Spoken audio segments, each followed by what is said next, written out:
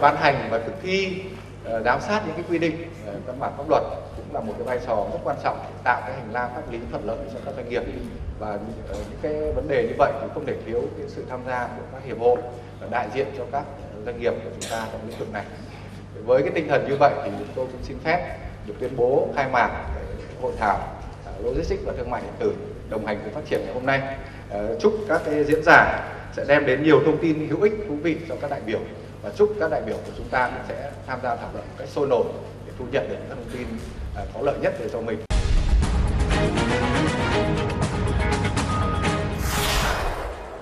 Thứ nhất là các yếu tố thúc đẩy sự phát triển của một doanh nghiệp logistics. Bao giờ cũng có ba cái yếu tố. Thứ nhất về sản lượng hàng hóa, thứ nhì nữa chất lượng dịch vụ và năng lực vận hành. Và cái thứ ba nữa là giá thành dịch vụ. Ba yếu tố này có quan hệ um, tương hỗ lẫn nhau. Đây, logistics basically là về về cơ bản nó là cái bài toán về sản lượng. Nếu chúng ta có sản lượng tốt chúng ta sẽ có thể đầu tư chúng ta có thể nâng cao cái chất lượng dịch vụ và qua đó đưa cái giá thành đi xuống. Tuy nhiên khi mà sản lượng đi lên chúng ta một trong những cái yêu cầu là làm sao chúng ta có thể nâng cao cái năng lực vận hành để đáp ứng được cái nhu cầu phát triển của thương mại điện tử. Cái tiềm năng của thương mại điện tử tại Việt Nam đã có rất nhiều cái con số, rất nhiều cái dự đời dự báo khác nhau. Ví dụ như tôi lấy một số cái bài báo mới nhất, ví dụ của VOV, tốc độ tăng trưởng bán lẻ trực tuyến khoảng 35% một năm. Trong đó một số doanh nghiệp chuyển phát hàng hóa tăng trưởng từ 62 tới 200% và dự kiến cái thị trường tăng tăng trưởng từ 5 tỷ đến 10 tỷ USD trong 4 năm tới. Cái hãng nghiên cứu về Frost Sullivan quy mô thị trường Việt Nam từ 1,6 tỷ năm 2016 lên 3,7 tỷ năm 2020. Một cái báo cáo của Canta về tỷ lệ người mua hàng qua kênh thương mại điện tử đã tăng từ 5,4 lên lên 8,8% và rất nhiều cái dự báo khác. Nếu chúng ta đi tìm một con số dự báo tương đối chính xác, tôi nghĩ hơi khó. Tuy nhiên, ngày hôm nay tôi mang tới cái góc nhìn khác và để tất cả chúng ta tự dự đoán cái ừ, mức độ tăng trưởng của thương mại điện tử tại Việt Nam. Thực tế tại Việt Nam, một loạt các tên tuổi lớn đã đi vào. Các tên tuổi lớn từ thương mại điện tử thế giới như Alibaba, JD.com hay Tencent đã đã đi vào Việt Nam thông qua các cái việc đầu tư. Chúng ta có Lazada, có Tiki, có Shopee. Và bên cạnh đó, các ông lớn tại Việt Nam đầu tư vào như Sen Đỏ, 123 Mua, A đây rồi của Vingroup và Vui Vui của Thế giới di động. Và một trong những yếu tố rất tiềm năng của thương mại điện tử là hàng hóa xuyên biên giới. Ở đây có thuật ngữ EWTP là Electronic World Trade Platform. Và như như quý vị cũng biết, hiện tại, hiện nay cái xu hướng hàng hóa nhập khẩu xuyên biên giới ở Việt Nam chúng ta gần như chưa có gì nhưng tất cả các nước trên thế giới hoặc đặc biệt các nước Đông Nam Á, hiện tại cái tỷ lệ này đang chiếm tương đối lớn. Ví dụ như ở ừ, Philippines hay ở Malaysia, cái tỷ lệ mà hàng hóa xuyên biên giới nó chiếm khoảng chừng 15 đến 20 phần trăm cái lượng hàng hóa domestic. Mà trong khi ở Việt Nam đang còn rất nhỏ. Một số cái con số của thị trường tại Việt Nam để chứng minh rằng Việt Nam mình là một nước có tỷ lệ dân số trẻ, tỷ lệ tiếp cận với công nghệ mới cao và rất nhanh và Việt Nam cũng là nước có tỷ lệ tăng trưởng GDP ổn định. Tất cả những cái con số này, những cái xu hướng về thương mại và những cái sự đầu tư từ tất cả những ông lớn từ thế giới cũng như tại Việt Nam đều cho thấy một cái sự tiềm năng cực kỳ lớn về thương mại điện tử tại Việt Nam. Tôi lấy đây một sự một cái ví dụ từ phía Alibaba để quý vị thấy cái sự phát triển của thương mại điện tử như thế nào năm 2010 tức là cách đây 8 năm, là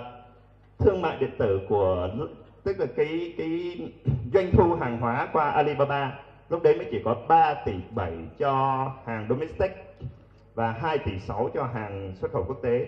Nhưng đến năm 2017 tức là năm ngoái, nó đã lên tới 110 gần như 120 tỷ nhân dân tệ cho hàng hóa tại nội địa tại thị trường Trung Quốc, cũng như là 10 tỷ, gần như 19 tỷ cho cái hàng hóa ừ, xuất khẩu qua, qua, qua quốc tế. Thương mại điện tử nó không chỉ là nó khác so với lại cái thương mại truyền thống. Nó có những cái đợt cao điểm và với Alibaba nó có ngày gọi là single day ngày 11 11 nếu quý vị nhìn trên cái biểu đồ phía góc bên trái màn hình cái này là cái doanh thu hàng hóa của Alibaba chỉ trong một ngày. Qua các năm năm 2011 à, chỉ có 820 triệu đô nhưng đến năm 2017 doanh thu hàng hóa trong một ngày của họ đã lên tới 25 tỷ đô. Nếu chúng ta so với cái GDP của Việt Nam của mình đang nằm ở khoảng bao nhiêu và nếu thấy rằng đây là cái sản lượng hàng hóa bán trong một ngày của họ thì chúng ta có thể hình dung ra cái con số cái tiềm năng của thương mại điện tử tại Việt Nam nó nó sẽ phát triển như thế nào. Và cái gì biểu đồ thì bên góc dưới bên phải là cái sản lượng hàng hóa ngày 11 tháng 11 của Alibaba. Nếu như năm 2013 là chỉ có 254 triệu đơn hàng được bán trong ngày đó, thì đến năm 2017 tức là ngày 11 tháng 11 năm ngoái, đã có tới 812 triệu đơn hàng bán trong một ngày. Và khi chúng ta nhìn thấy những con số này, thương mại điện tử của Việt Nam cũng đang học theo những cái mô hình như thế cũng đang mong muốn để đạt được những cái mô hình như thế. Và có khả năng đạt được không? Đương nhiên chúng ta sẽ không thể so sánh được với con số này bởi cái thị trường Trung Quốc nó lớn hơn thị trường chúng ta rất nhiều. Tuy nhiên nếu so với những gì chúng ta đang có tại thương, thương mại điện tử tại Việt Nam so với mong muốn và với cái tiềm năng của nó chúng ta hoàn toàn có thể phát triển lên một con số lớn hơn rất nhiều lần so với các con số hiện tại. Và một trong những bài toán đặt ra là khi mà các sàn thương mại điện tử họ bán được tới cái lượng hàng hóa như thế này, thì cái logistics hiện tại của chúng ta có thể phục vụ được, có thể đáp ứng được cái nhu cầu hàng hóa như thế này hay không? Đó là một cái câu hỏi rất lớn. Tôi nghĩ là với với góc độ của tôi, khi mà tôi điều hành cái công ty Lazada Express, tức là chuyên về cái logistics cho Lazada, thì tôi khẳng định luôn là cái thị trường Việt Nam, cái logistics tại Việt Nam hiện tại chưa đáp ứng được bởi cái logistics cho thương mại điện tử của Việt Nam hiện tại mới đang chỉ là rất sơ khai chúng ta gần như tất cả các doanh nghiệp logistics truyền thống chạy qua làm thương mại điện tử và mang theo cái cách vận hành từ các logistics truyền thống qua vận hành cho thương mại điện tử. Tuy nhiên, cái tăng trưởng của thương mại điện tử nó khác so với lại tăng trưởng của logistics truyền thống. Cái tốc độ tăng trưởng nó lên rất cao và nó có thể ngày hôm nay cái sản lượng như thế này nhưng ngày mai nó có thể sản lượng gấp đôi. Thì đó là những cái yêu cầu đặt ra cho cái, cho các doanh nghiệp logistics làm sao có thể đồng hành cùng với các doanh nghiệp về thương mại điện tử để phát triển. Khi trong quá trình làm việc, trong quá trình xây dựng Lazada Express thì chúng tôi có gặp một số cái trở ngại, một số cái thách thức mà tôi muốn nêu lên đây để tất cả chúng ta cùng thảo luận và chúng tôi cũng đưa ra một số cái định hướng đề xuất. Thì trước khi vào cái phần đấy đây là cái mô hình của của của ừ, thương mại điện tử. Chúng ta có các nhà bán hàng, một cái sàn giao dịch điện tử. Chúng ta có các nhà bán hàng, có thể là đưa về kho của các sàn thương mại điện tử, hoặc có thể đưa về khi mà bán được hàng xong, đưa về các cái trung tâm phân phối trực tiếp từ, của của các công ty logistics. Sau đó đẩy đến các hấp, đẩy đến các trung tâm phân phối hàng hóa và từ đó họ phát đi cho khách hàng. Nhưng mà những cái yêu cầu chính của tất cả những cái này là gì? Về hiệu quả của logistics, về tầm nhìn, về tiếp cận khách hàng, cái thời gian giao hàng về chất lượng dịch vụ. Hiện tại chúng ta đang có những ai? Có các nhà vận chuyển bưu chính, đang từ vận chuyển bưu chính chuyển qua vận chuyển à, thương mại điện tử. Có một số nhà khởi nghiệp và thành lập ra chỉ để phục vụ cho thương mại điện tử.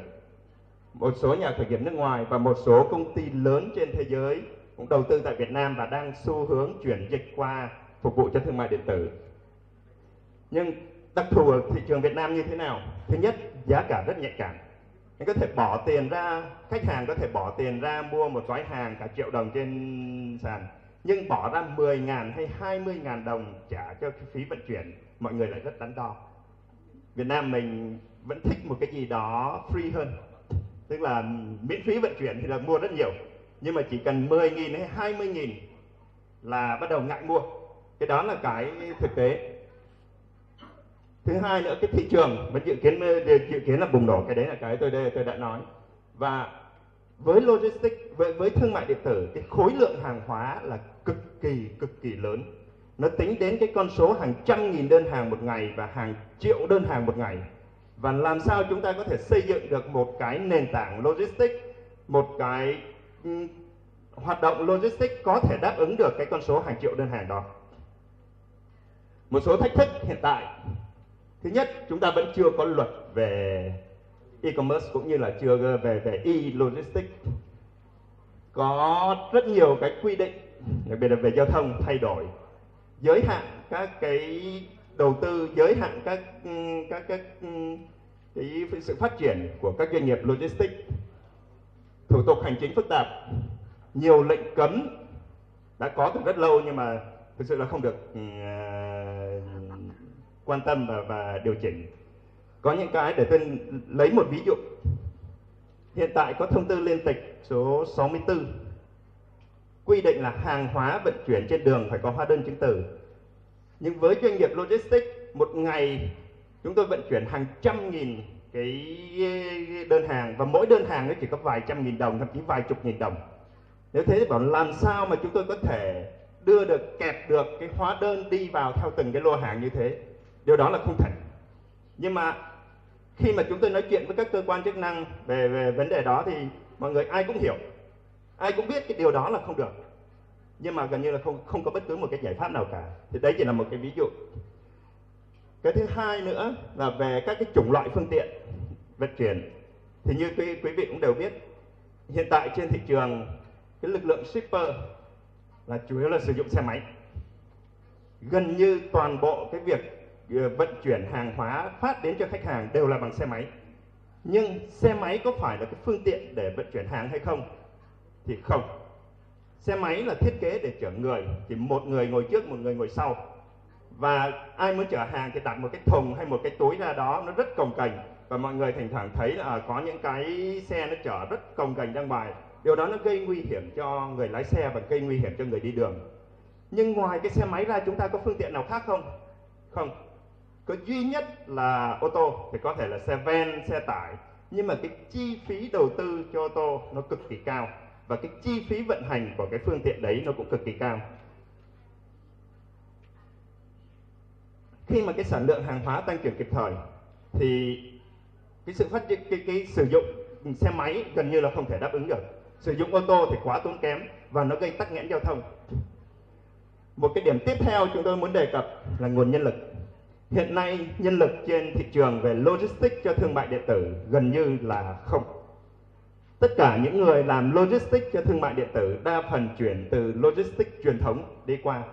và vừa làm vừa học, vừa làm vừa học. Chúng ta không có bất cứ một cái chương trình không có một cái trường đại học nào có một cái chuyên ngành về logistics nói chung, cũng như là logistics cho thương mại điện tử nói riêng và thêm một cái nữa, khi mà các công ty xác định được, các công ty logistics xác định được cái tiềm năng của thị trường thương mại điện tử,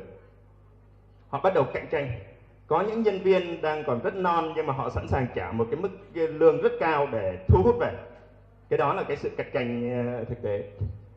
Cái dịch vụ phụ trợ, logistics cho thương mại điện tử nó quá mới.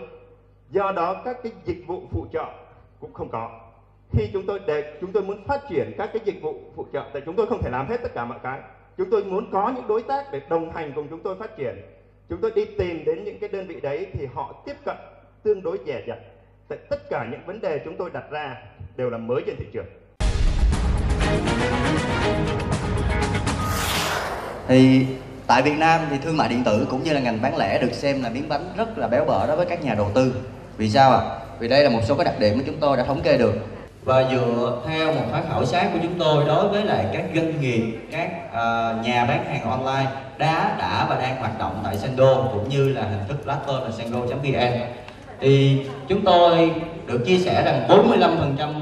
các uh, nhà bán hàng online sẽ tự thực hiện việc uh, vận chuyển hàng hóa của mình đồng thời 45% còn lại sẽ sử dụng dịch vụ thuê ngoài.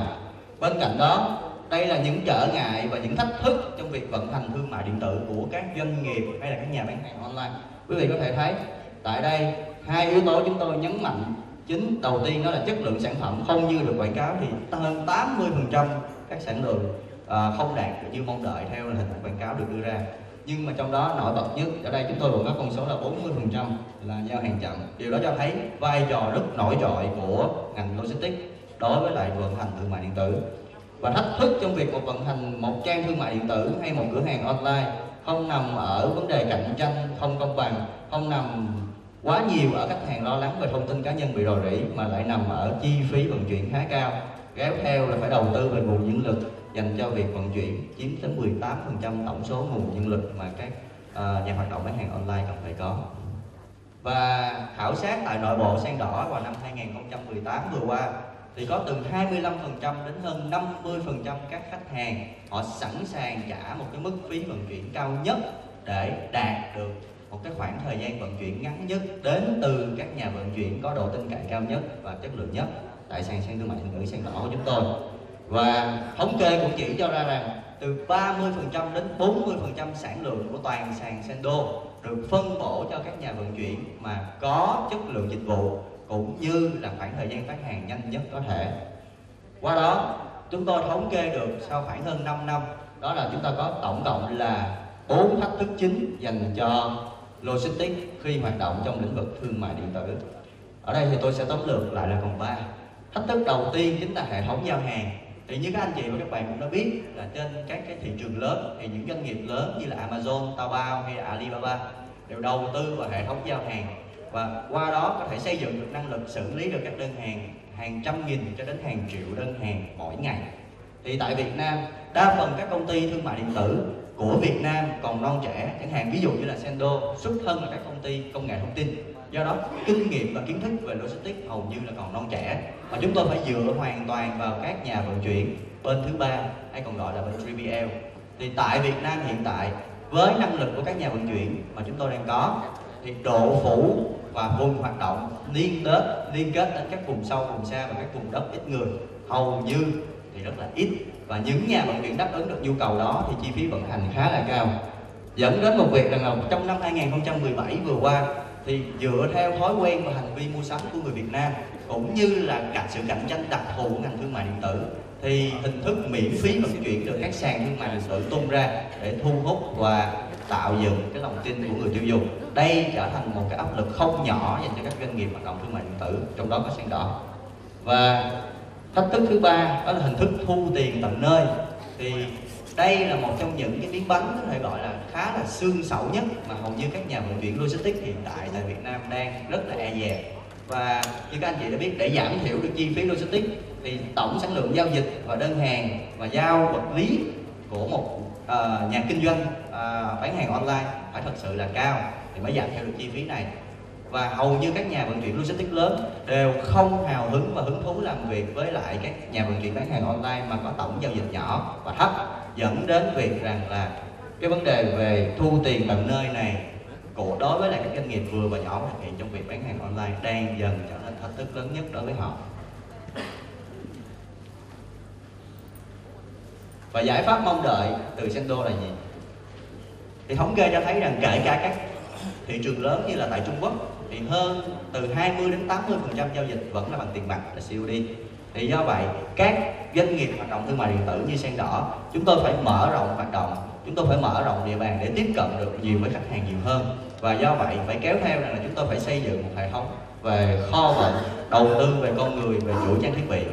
Nhưng mà việc này về lâu về dài thực sự là vượt quá cái khả năng của các ờ, đơn vị mà hoạt động thương mại điện tử tại Việt Nam có chăng là chúng tôi mong đợi một giải pháp đến từ tất cả các công ty, các doanh nghiệp hoạt động thương mại điện tử Việt Nam cùng nhau xây dựng một cái chuỗi về hệ thống kho vận này, đồng thời kết nối với các đơn vị logistics để tạo nên một mạng lưới thật sự về chuyển phát trong ngành e-logistics online.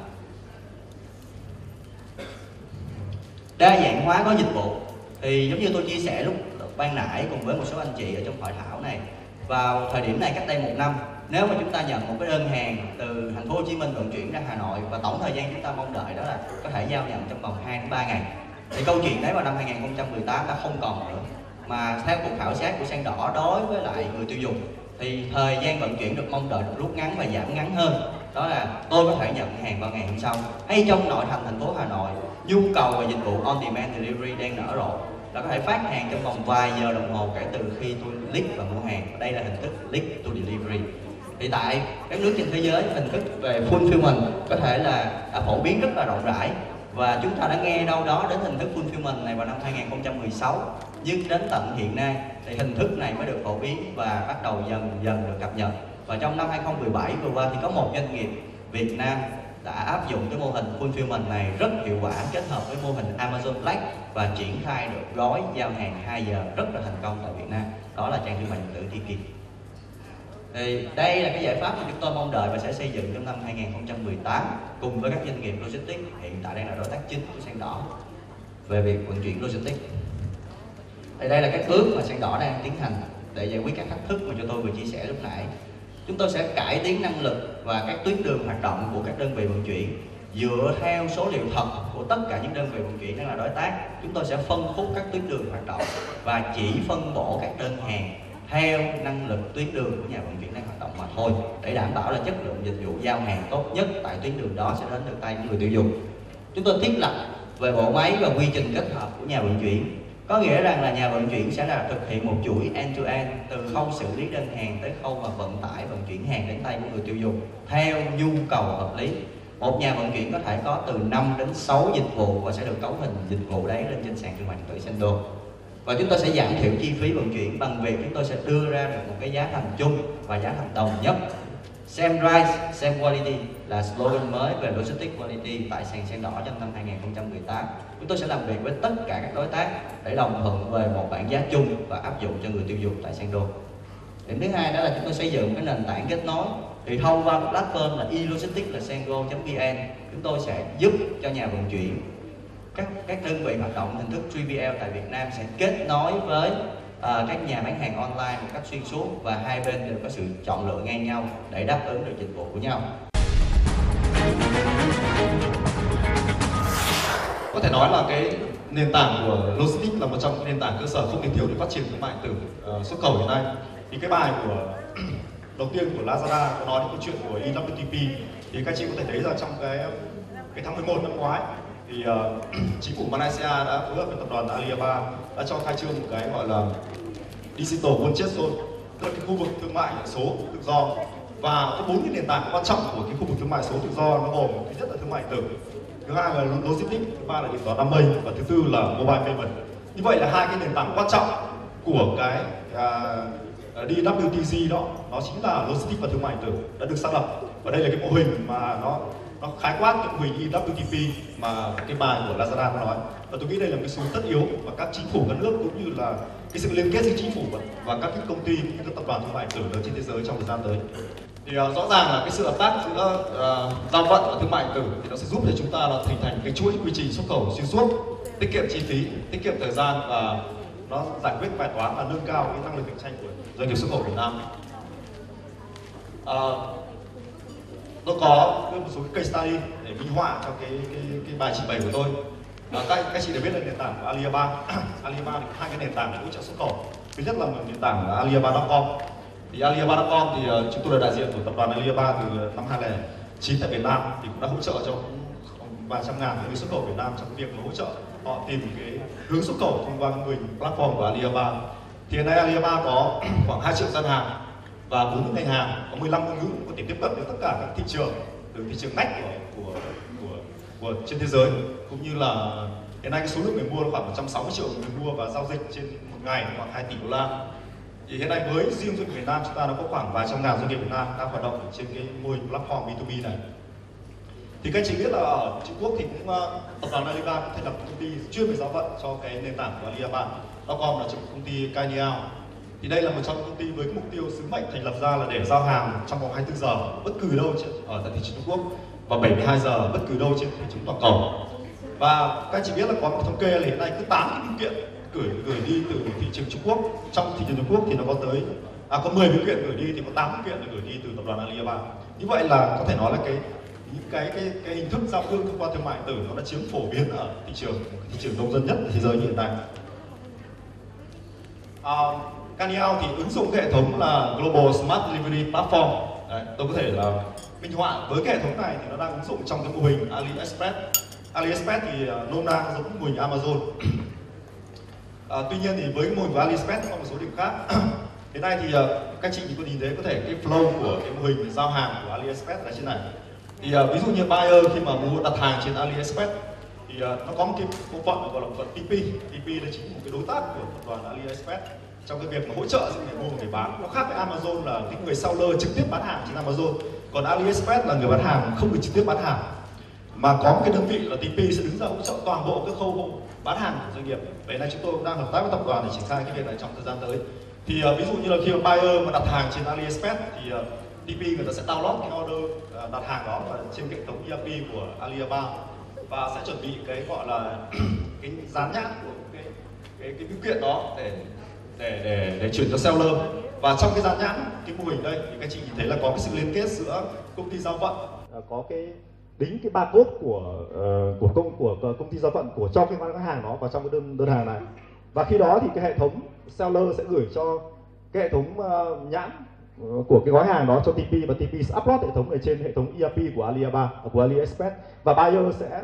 sẽ check trực tiếp trên cái hệ thống online website đó để biết rằng hàng của mình đã, đã chuyển như thế nào và chuyển đi đâu và thời gian bao nhiêu thì đến thì cái mô hình này nó cũng tương đối là là thông minh và cũng đã hỗ trợ cho cái hoạt động uh, kinh doanh và đáp ứng yêu cầu của của cái việc mà cái mục tiêu là phải chuyển hàng trong vòng 24 giờ tại thị trường Trung Quốc và 72 giờ thị trường toàn cầu. À, với cái sứ mệnh là hỗ trợ cho doanh nghiệp xuất khẩu thì uh, năm ngoái thì uh, với cái sự bảo trợ của hiệp hội thương mại điện tử Việt Nam thì chúng tôi đã thành lập cái liên minh hỗ trợ xuất khẩu Việt Nam. Thì trong cái liên minh này thì là có cái vai trò có cái sự thành có cái sự tham gia của một số những cái đơn vị cung cấp những cái dịch vụ hỗ trợ cho doanh nghiệp xuất khẩu. Với cái mục tiêu là chúng ta muốn nhìn thấy là xây dựng ra một cái chuỗi hỗ trợ cho doanh nghiệp để làm sao doanh nghiệp khi tham gia thương mại điện tử thì các anh chị biết ví dụ như là trong cái chủ đề của chúng ta hôm nay là thương mại điện tử và logistics thì nó không chỉ là cái vấn đề thương mại điện tử mà nó còn vấn đề là giao vận vấn đề là bảo hiểm vấn đề là ờ, các cái tranh chấp ờ, hàng hóa, à, hóa vấn đề về tài chính và nhiều vấn đề khác. Thì chúng tôi đã xây dựng ra một cái liên minh này và hiện nay liên minh của chúng tôi có 8 đơn vị cung cấp dịch vụ uh, gồm Alibaba, OSP, uh, ờ, TNM là đơn vị về giao vận, ờ, VBank, PTI, công ty Post là chuyên cung cấp dịch vụ tư vấn về luật.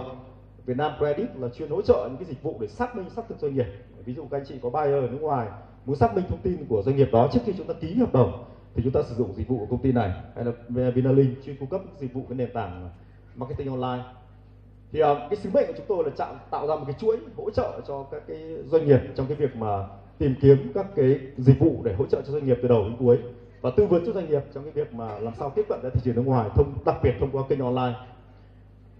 À, các chị nhìn thấy là đây chúng tôi mô phỏng cái chuỗi quy trình xuất khẩu uh, gồm 9 bước. Thì uh, vai trò của các cái nhà cung cấp dịch vụ trong cái liên minh visa của chúng tôi đã nằm trong cái chuỗi này. Hay là chuỗi quy trình sản xuất 9 bước thì cũng nằm trong cái chuỗi này. Thì hiện nay chúng tôi đang xây dựng ra những cái gói sản phẩm dịch vụ uh, bên cạnh những cái gói chung để hỗ trợ cho thành viên thì chúng tôi xây dựng ra những cái gói riêng biệt để hỗ trợ. Ví dụ như là chúng tôi đang xác định là những cái gói dành riêng cho micro uh, household những cái gói SME và những cái gói dành cho doanh nghiệp lớn hay doanh nghiệp FDI bởi vì mỗi một nhóm doanh nghiệp nó có những cái đặc thù yêu cầu khác nhau. Thì với những đặc thù đó thì có thể hỗ trợ và kỳ vọng nó sẽ bao uh, bao quát và có thể hỗ trợ cho doanh nghiệp một cách thực tế.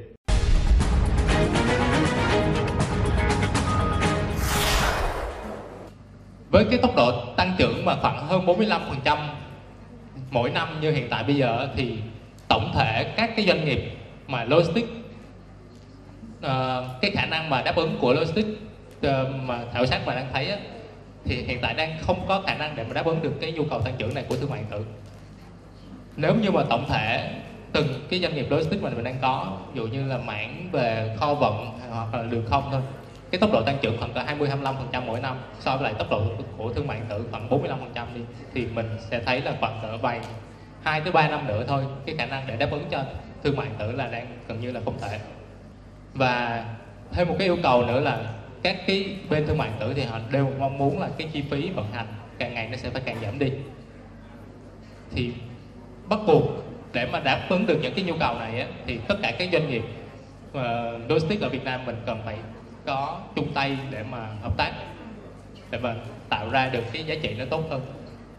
Thì xuyên suốt trong cái quá trình trong một cái khâu tất cả những cái khâu vận hành của uh, logistics cho thương mại điện tử á, thì nó có rất là nhiều cái khâu. Từ kho bãi từ làm sao để mà đáp ứng được cái nhu cầu mà fulfill một cái đơn hàng rồi làm sao để mà lấy được cái đơn hàng đó để mà đi giao uh, phân loại hàng hóa uh, rồi các cái khâu lai ho rồi làm rồi đến cái khâu giao hàng đầu cuối thì cần rất là nhiều sự đầu tư về hệ thống về kho bãi về cơ sở hạ tầng. Và cần cái sự chuyên môn hóa tập trung của rất là nhiều uh, của, của từng bên. Nếu như mà một bên mà muốn làm tất cả những cái khâu này á thì cái sự đầu tư nó sẽ rất là lớn. Cho nên là từng cái công ty với từng cái thế mạnh riêng á, cần phải làm sao để mà tập trung tốt hơn cho cái cái cái cái, cái thế mạnh của mình để cái lợi thế cạnh tranh của mình càng ngày nó càng lớn. Thì với những cái cơ hội đó thì uh, bên phía giao nhanh tết đề xuất có đưa ra một số cái mô hình để có thể hợp tác được giữa các cái ờ, doanh nghiệp về uh, các doanh nghiệp về logistics. Thì có ba cái cấp độ có thể hợp tác ở đây á, là đầu tiên thì các bên thì có có thể là cung cấp những cái dịch vụ thông thường thôi thì làm sao để mà cái giá cả giữa các bên uh, mỗi bên có cái lợi nhuận trên cái việc hợp tác đó thì ok. Nhưng mà cái việc hợp tác này nó rất là truyền thống nó uh, nó cơ bản nó từ trước giờ thì đa số mọi bên đều đang làm theo cái mô hình này. Nhưng mà nó cũng không có đáp ứng được cái nhu cầu với cái tốc độ tăng trưởng hiện tại của thương mại điện tử. Ờ, một cái giải pháp thứ hai á, là uh, các doanh nghiệp lớn họ sẽ yêu cầu những cái doanh nghiệp nhỏ hơn để mà tích hợp vào các cái hệ thống. Tích hợp hệ thống ở đây là có cả về quy quy trình lẫn những cái hệ thống về công nghệ thông tin để đảm bảo được các cái thông tin nó xuyên suốt và nó giảm đi được những cái khâu làm thủ công để giảm, tiết giảm được cái phần chi phí. Và cái giải pháp tổng thể thứ ba mà ờ, đề xuất ở đây là khi mà tất cả các bên cùng ngồi lại để cùng đưa ra được một cái giải pháp tổng thể cho những cái bên làm về thương mại tử. Tổng thể ở đây là từ cả về uh, xuất sinh hàng hóa cả về kho bãi cả về uh, luân chuyển hàng hóa giữa các cái kho đến cả uh, last mile. Khi mà tất cả các khâu này đều cùng uh, ngồi lại với nhau đều cùng đưa ra một cái cái quy trình chuẩn hoàn chỉnh được thì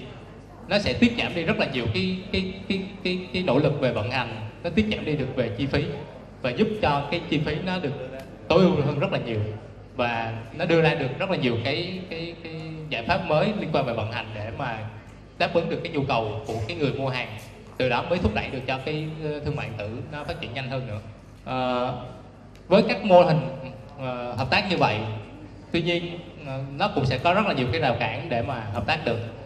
Thì ở đây uh, em muốn list ra một số cái ờ, cái cái rào cản mà thấy rất là rõ ràng trong cái việc hợp tác từ trước giờ của các doanh nghiệp ở Việt Nam. Uh, đầu tiên là mọi người rất là thiếu niềm tin. Uh, không dám để các cái thông tin với nhau. Uh, cứ sợ rằng là các cái đối tác hợp tác với mình đó, họ sẽ không đáp ứng được những cái nhu cầu mà mình mong muốn. Chính vì thiếu niềm tin cho nên là không dám chia sẻ các cái thông tin. Rồi bởi vì những cái hợp tác này làm được á, thì nó yêu cầu một cái quá trình dài hơi để mà có thể thấy được kết quả. Thì thường thì các cái doanh nghiệp vừa nhỏ của mình thì vẫn phải là làm sao để mà sống được. Thì uh, mình cần phải chấp nhận những cái sự thay đổi cần phải nhìn về cái tương lai nó nó dài hơi hơn chứ không phải là chỉ nhìn thấy những cái cái lợi ngay trước mắt. Và trong cái quá trình làm á, thì cần phải có cái sự cam kết tại nếu mà không giữ được các cái cam kết thì chỉ cần một lần mình break những cái cam kết thôi thì cái việc hợp tác giữa các bên đó thì gần như là nó bị ảnh hưởng. Và sau những cái phá vỡ đó thì cái việc hợp tác tiếp theo gần như là sẽ không bao giờ nó nó tạo dựng lại được. Thì đây là một số cái cái rào cản. Nếu như mình vượt qua được tất cả những cái rào cản này thì cái việc hợp tác và cái cái liên minh của tất cả các cái bên về logistics mình có thể cộng hưởng lại để mà tạo ra được cái giá trị cho khách hàng thương mại điện tử của mình đó thì càng ngày nó sẽ càng lớn hơn rất là nhiều. À, cái này là một cái thông điệp của bên phía giao nhanh nhưng mà cũng em cũng muốn trình bày ở đây luôn thì bởi vì thương mại điện tử hiện tại bây giờ và logistics cho thương mại điện tử hiện tại bây giờ nó cũng chỉ đang mới ở trong cái giai đoạn đầu tiên thôi. Nó chỉ là những cái ngày mặc dù mình có vài năm 5 năm để mà, mà trải qua rồi nhưng mà tính ra nó vẫn đang rất là sơ khai, thì nó đều là những cái cơ hội để mà mình làm. Và nó là những cái đầu tiên để mình bắt đầu làm sao để mà cho thị trường càng ngày nó càng phát triển hơn. Qua khi mà nghe tôi thấy có mấy cái này vừa mừng vừa lo. Mừng là bởi vì chúng ta đưa ra rất nhiều cái cơ hội. Cả logistics cũng như là cả e-commerce. Và rất nhiều người quan tâm cả doanh nghiệp cả hiệp hội cả giới uh, nghiên cứu học thuật như anh Hải có nêu cũng như là cơ quan làm chính sách. Chứng tỏ rằng là chúng ta rất là quan tâm đến cái lĩnh vực rất là mới mẻ như thế này. Thì đấy là cái cái rất là đáng mừng. Cái lo của tôi là tôi lo ba thứ. Cái thứ nhất ý là thông tin số liệu khác nhau quá.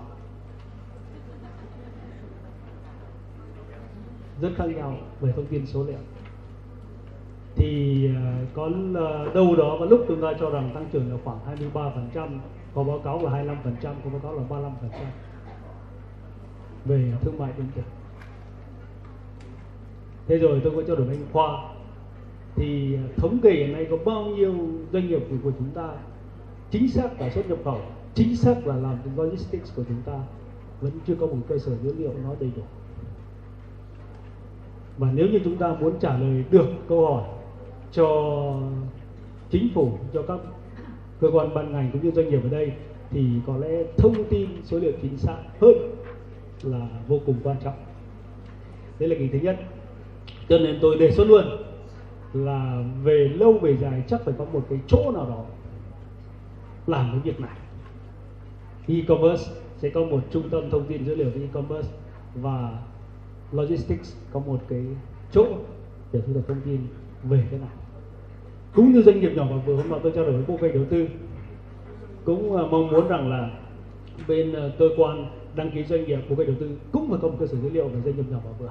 Tại Việt Nam chúng ta, bởi vì hiện nay rất nhiều số liệu khác nhau, lúc thì 97 lúc thì 98 phần trăm, lúc thì 550 lúc thì 600 600 ngàn. Tôi cũng khá là phân vân, thì đây là thứ nhất tôi xin đề xuất luôn. Cái ờ, lo thứ hai của chúng, của tôi là phải chăng chúng ta đã bàn trúng vấn đề chưa? Bởi vì chúng ta đều hiểu rằng là thương mại điện tử thì nguyên tố số 1 của nó chính là niềm tin. Niềm tin của người tiêu dùng, niềm tin của khách hàng. Thế thì ờ, chúng ta làm thế nào để mà có được cái niềm tin của khách hàng là một câu hỏi rất lớn đối với chúng ta ngoài đây cả phía logistics cũng như là cả phía các doanh nghiệp, kinh doanh e-commerce. Đúng chưa? Thế thì vừa rồi tôi rất là cảm ơn bạn của một cái công ty. Vừa trình bày xong, đã nêu ra được ba cái yếu tố mà khách hàng cần. Nào là giao nhanh, nào là chi phí thấp, nào là dịch vụ tốt. Tuy nhiên tôi xin bổ sung thêm, từ góc độ khách hàng, tôi là người mua thương mại điện tử. Thì tôi thấy rằng như thế này, một cái điểm nữa rất quan trọng chính là cái khâu gọi là đổi và trả hàng. Nó dễ dàng. Amazon vì sao họ thành công bởi vì là họ, cái dịch vụ đổi và trả hàng của họ cực kỳ đơn giản. Sẵn sàng đổi đến lần thứ hai, đổi đến lần thứ ba. Của mình có làm được như vậy không? Một cái nhân tố nữa chính là liên quan đến hàng thật. Hàng thật ạ. Bởi vì hiện nay nếu mua bán mua bán điện tử của chúng ta, hàng nhái, hàng giả cũng khá là nhiều. Mà cái đó ở những thị trường như Việt Nam chúng ta thì không phải là là không phổ biến. Cho nên hàng thật cái cuối cùng là khách hàng người ta cũng muốn trải nghiệm. Kinh nghiệm của tuổi của chúng tôi làm dịch vụ tài chính số, ngân hàng số, kinh tế số là trải nghiệm của khách hàng cực kỳ quan trọng. Tức là người ta cảm thấy rằng gì? Có cái gì khác biệt so với mua bán truyền thống? Trước đây, thì tôi xin một phép là bổ sung ba yếu tố như vậy. Rất là mong chúng ta sẽ bàn thêm từ góc độ khách hàng. Một cái ờ, nữa tôi xin ờ, gợi ý là cái lo con khoăn của tôi chính là gì ạ là liệu logistics của chúng ta có đáp ứng được cái nhu cầu phát triển đó hay không? Với tốc độ phát triển, thôi bây giờ gọi nôm na là 20 đến 30 phần trăm một năm đi, thì năng lực của chúng ta như thế nào? Đặc biệt doanh nghiệp trong nước ạ. Có lẽ bây giờ 70 phần trăm là doanh nghiệp nước ngoài. Tôi có thể số liệu là chưa hoàn toàn đầy đủ, chính xác nhưng đâu đó khoảng 70 75% hiện nay của chúng ta dịch vụ logistics là nước ngoài đảm nhiệm. Trong nước chúng ta sẽ như thế nào? Đúng chưa? Đấy, thế thì đấy là một câu hỏi rất là được đối với chúng ta. Kể cả là chúng ta có doanh nghiệp nước ngoài, nhưng khả năng liên kết của doanh nghiệp trong nước với doanh nghiệp nước ngoài của chúng ta như thế nào? Cũng là một vấn đề. Thế thì đối với khối doanh nghiệp thì tôi xin phép là là đề xuất mấy cái, một vài cái việc thế này thôi có lẽ chúng ta với cái nền kinh tế số, với thương mại điện tử, thì cái khẩu hiệu lấy khách hàng là trung tâm có lẽ là không xa vời nữa rồi. Cho nên khẩu hiệu số 1 của chúng tôi là tài chính số, ngân hàng số, cũng như là kinh doanh số ở đây chính là lấy khách hàng làm trung tâm. Và theo đó thì tôi nghĩ rằng là doanh nghiệp chúng ta từ nay về sau chắc là phải thay đổi. Thay đổi cái gì ạ? Thay đổi mô hình kinh doanh. Tôi rất là thích cái bài trình bày của DHL về đã trình bày với chúng ta về mô hình kinh doanh đã thay đổi. Bây giờ người nhập khẩu, bên nhập khẩu có lẽ là không cần thiết nhiều nữa rồi. Đúng chưa vâng bây giờ thì cái ứng xử của khách hàng trực tiếp với người bán hàng nó sẽ như thế nào? Cho nên là mô hình kinh doanh đã thay đổi. Rồi câu chuyện của chúng ta là liên kết doanh nghiệp trong chuỗi cung ứng. Hôm nay tôi rất là mong muốn có một cái bài trình bày bày về chuỗi cung ứng nhưng mà vì thời gian của chúng ta rất là có hạn. Bởi vì tất cả những câu chuyện này liên quan đến câu chuyện của chuỗi cung ứng rất quan trọng của chúng ta. Một cái nữa là nguồn nhân lực, các anh nêu rất nhiều. Nhưng tôi xin nhấn mạnh nguồn nhân nhân lực của chúng ta hiện nay có một bất cập lớn Việt Nam chúng ta là gì? Là công nghệ thông tin thì lại thiếu về kiến thức, về thương mại, hoặc là về kinh doanh. Và ngược lại, chúng tôi tuyển công nghệ thông tin, kỹ sư công nghệ thông tin cực kỳ thiếu nhưng mà tiền về cũng lại phải tiếp tục. Thêm một vài năm nữa liên quan đến kiến thức về kinh doanh kiến thức về thương mại. Cho nên tôi nghĩ rằng đấy cũng là một cái lỗ hổng rất là lớn đối với chúng ta. Và cái uh, cuối cùng chúng ta sẵn sàng đầu tư công nghệ thông tin nhưng đừng quên quản lý rủi ro. Bởi vì kinh doanh thương mại điện tử của chúng ta ở đây rất nhiều cũng rất nhiều rủi ro. Rủi ro liên quan đến thông tin dữ liệu rủi ro liên quan đến hàng thật hàng giả. Rủi ro liên quan đến lừa đảo đặc biệt là hàng đa cấp. Đúng chưa? Thế thì đấy là những cái chúng ta cũng cần phải nhức đầu. Và cuối cùng của người Việt Nam chúng ta chính là rủi ro do chúng ta bất cập về chuyên ngành cơ. tôi xin phép hết ạ. Thế thì uh, uh, câu hỏi của anh Nhược ờ, nói rằng là uh, tôi xin trả lời câu hỏi về logistics uh, có đáp ứng được cái, cái nhu cầu uh, và sự phát triển của thương mại điện tử hay không? Thì uh, tôi có thể nói rằng là hiệp hội logistics ấy, thì nhận thức rất rõ ràng rằng là thương mại điện tử uh, các cái công nghệ đột phá và số hóa là những cái uh, những cái nhân tố những cái yếu tố mà tạo nên sự thay đổi của cái uh, môi trường uh, kinh doanh của cái ngành dịch vụ logistics. Và hiệp hội nhận thức rất rõ được cái cái điều như vậy. Uh, vào cái ngày cách đây có hai có thứ sáu tuần trước thì hiệp hội logistics đã tổ chức một cái hội thảo với chủ đề là số hóa trong lĩnh vực vận tải và logistics à, thì cũng đặt rất nhiều vấn đề và cũng nhìn nhận được uh, rằng là cái việc uh, ứng dụng công nghệ và số hóa là một cái biện pháp hết sức là cần thiết và gần như là sống còn để cho các doanh nghiệp logistics của Việt Nam có thể uh, uh, phát triển và đáp ứng được cái cái cái, cái sự phát triển của ngành logistics nói chung và của cái ngành thương mại điện tử nói riêng. Thế còn ờ, ở góc độ thực tế thì tôi có thể nhìn nhận rằng như này, đa số các doanh nghiệp logistics uh, truyền thống và có thể gọi là chuyên nghiệp của hiệp hội logistics thì lại tập trung nhiều vào cái mảng thương mại điện tử. Vào cái mảng thứ nhất là mảng doanh nghiệp của đến doanh nghiệp. Và nếu có có có tập trung vào thương mại điện tử thì cũng tập trung nhiều vào cái mảng thương mại ờ, điện tử gọi là B2B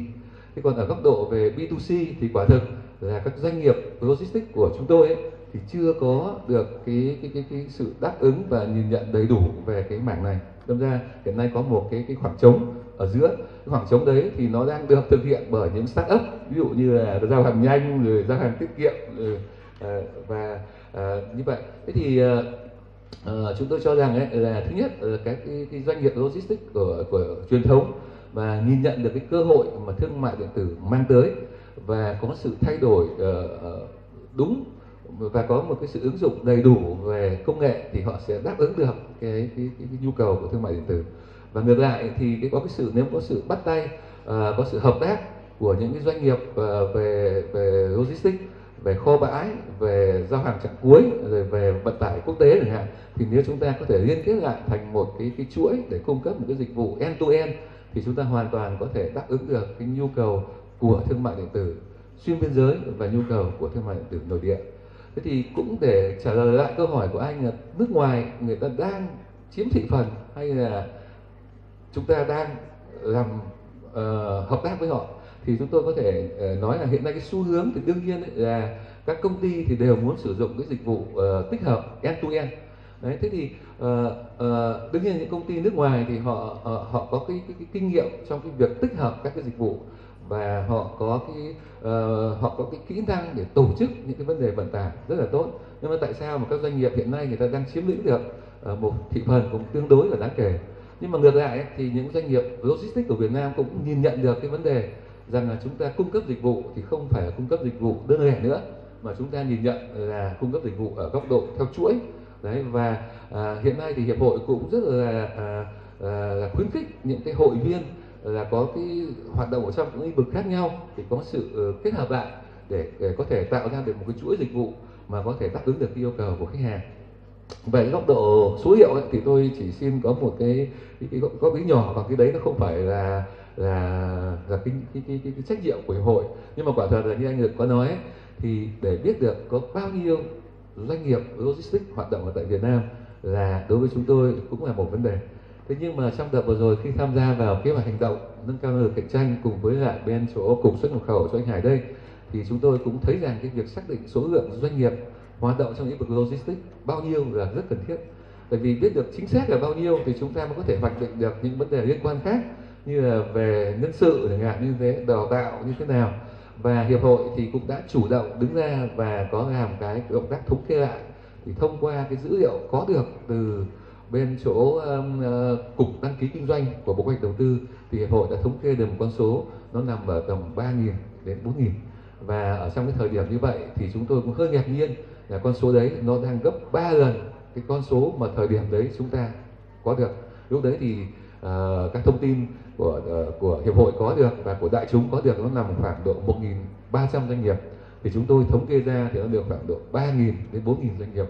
và quả thực là để công bố con số 3.000 đối với chúng tôi là một uh,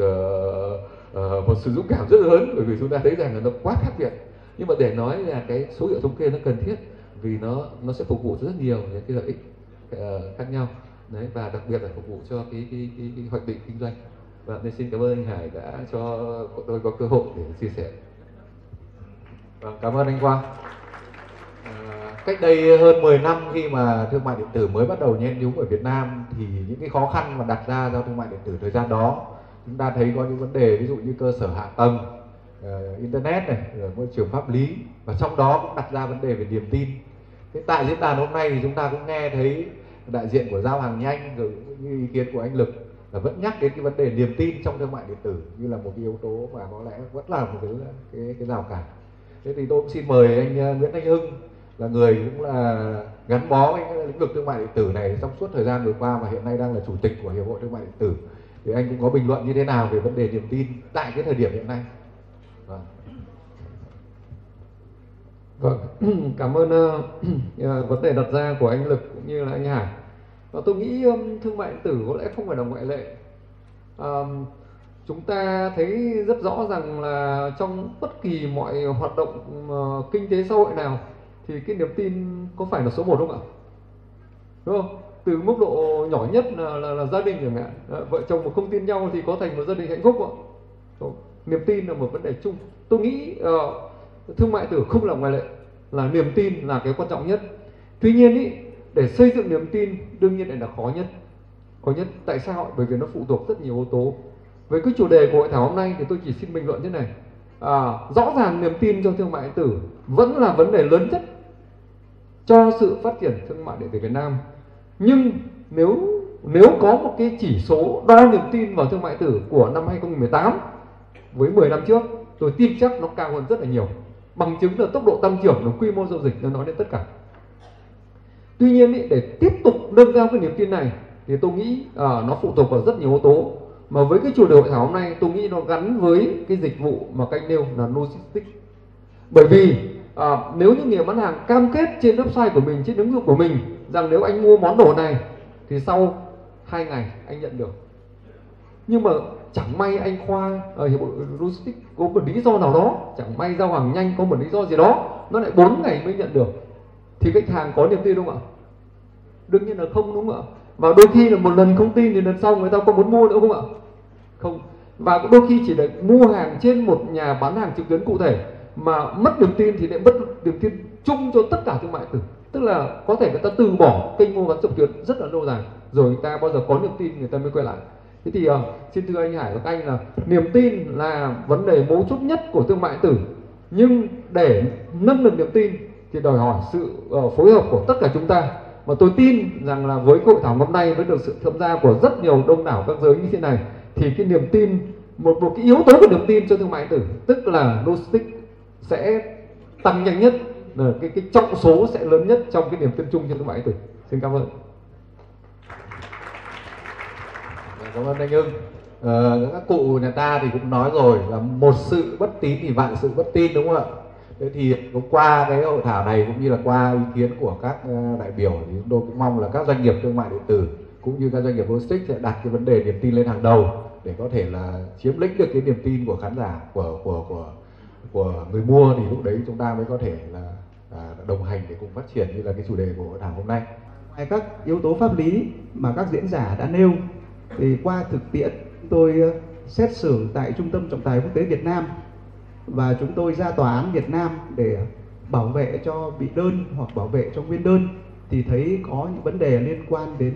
à, giao dịch điện tử và liên quan đến à, mua bán à, trực tuyến.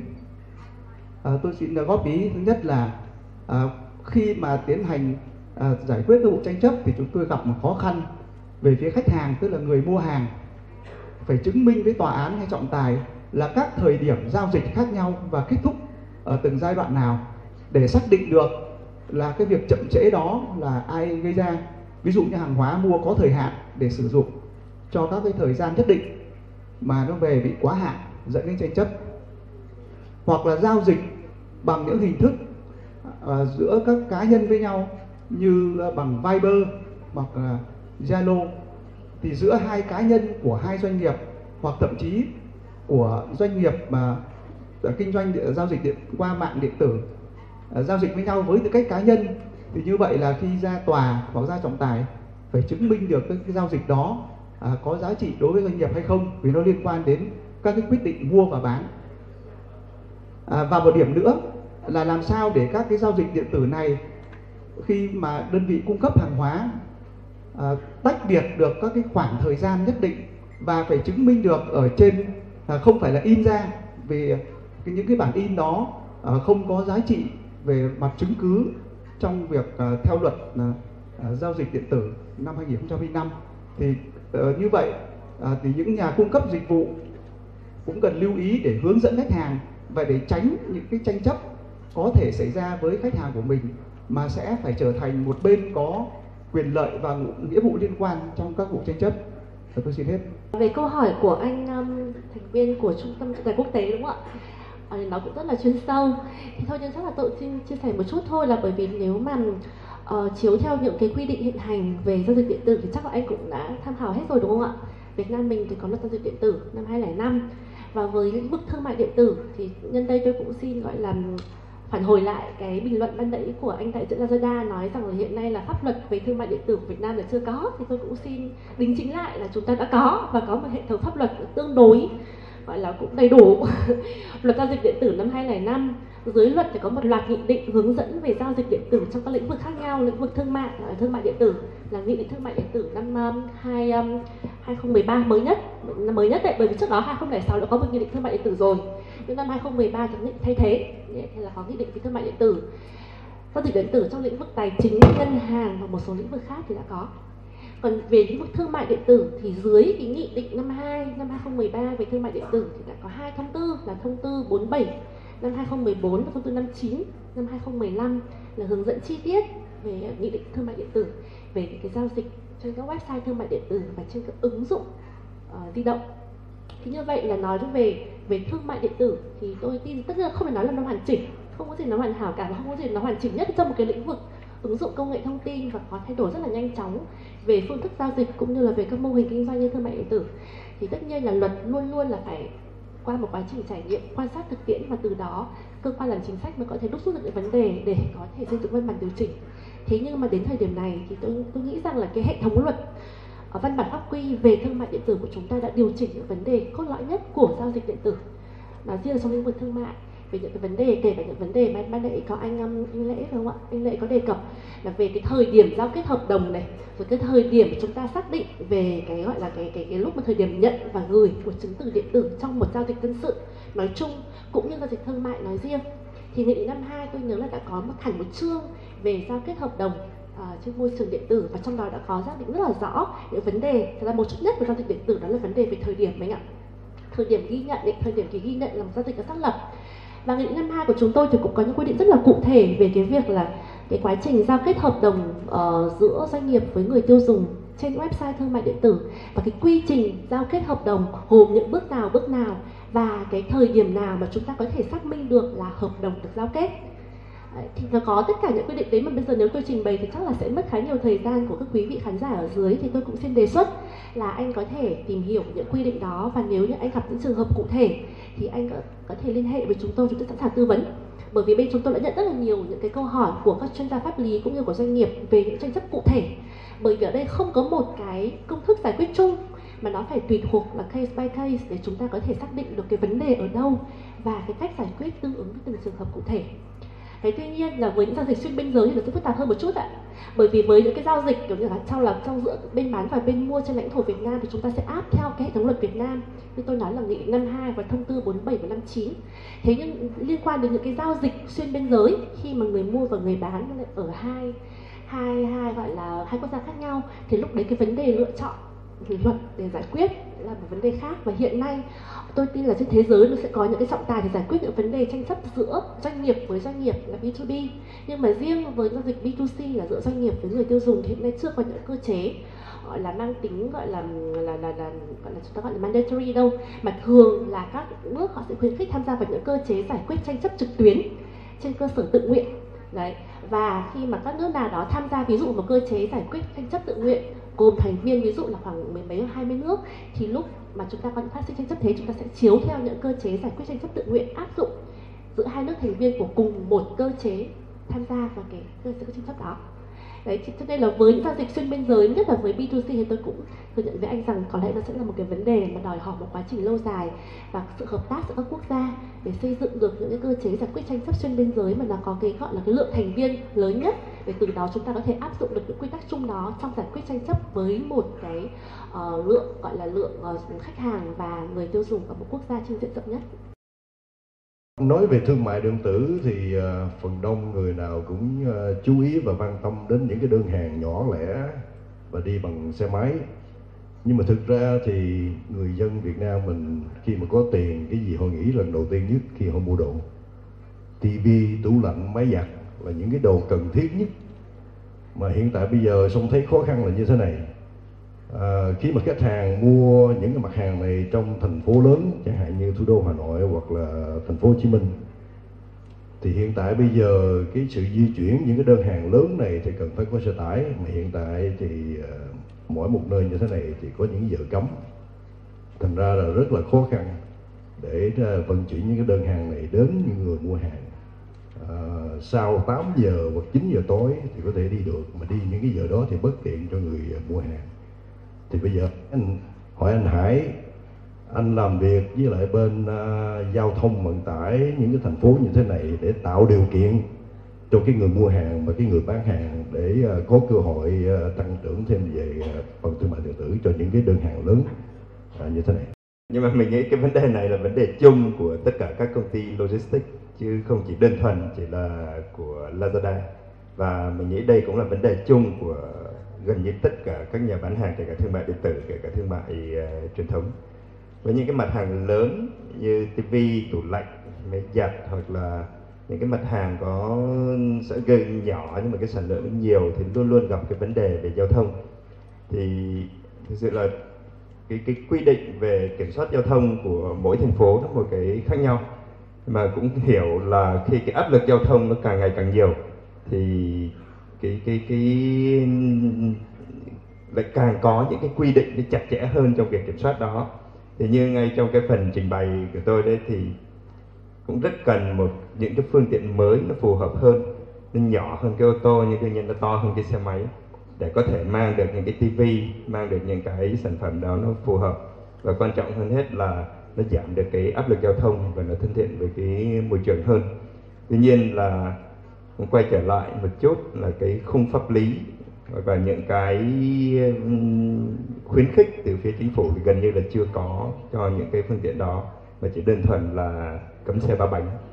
Ví dụ thực sự cái đấy là cái quy định, cái nghị định 05 năm 2000 từ năm 2008 của chính phủ lúc đấy là cấm, gần như là cấm hoàn toàn xe ba bánh. Tuy nhiên nếu xe ba bánh nó hoạt động trong một cái phạm vi nhỏ, mang những cái mặt hàng nó nhẹ nhưng mà cồng cành thì chắc chắn nó sẽ an toàn hơn nhiều so với cái xe máy mình đương nhiên mình vẫn thấy này, một cái xe máy chở cái tủ lạnh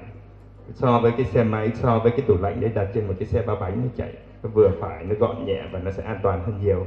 thì về phía doanh nghiệp thì như tôi nói là cũng sẵn sàng đầu tư, sẵn sàng nghiên cứu phát triển, nhưng cũng rất cần lắm sự ờ, ủng hộ của tất cả các bên và đặc biệt là cơ quan ờ, ban ngành cho những cái vấn đề đó.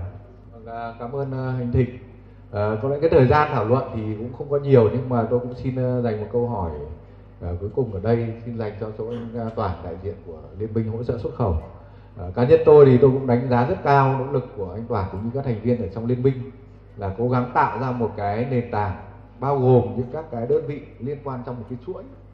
và liên quan đến hoạt động xuất nhập khẩu xuất khẩu của doanh nghiệp bao gồm từ ngân hàng từ giao dịch thương mại điện tử